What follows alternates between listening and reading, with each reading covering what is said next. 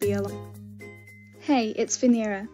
Today I'm going to be talking to you about a topic that's been troubling me. Can you steal a pose that you saw a person use in their artwork? I don't plan for this to be a long video.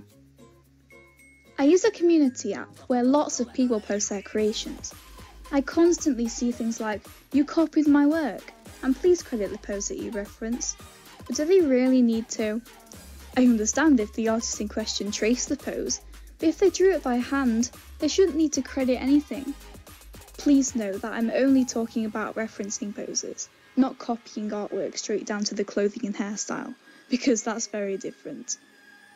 Just because you drew a pose in your artwork without using a reference doesn't automatically make it your idea and your pose. Countless people have drawn that exact same positioning, and billions of people have already struck that pose in their day to day life. You aren't going to sue them for that, are you? Of course not, because you know you own no rights to that pose, yet you think it's okay to accuse artists for using your wonderful idea. How do you even know they know you exist? Imagine the person actually did reference your artwork.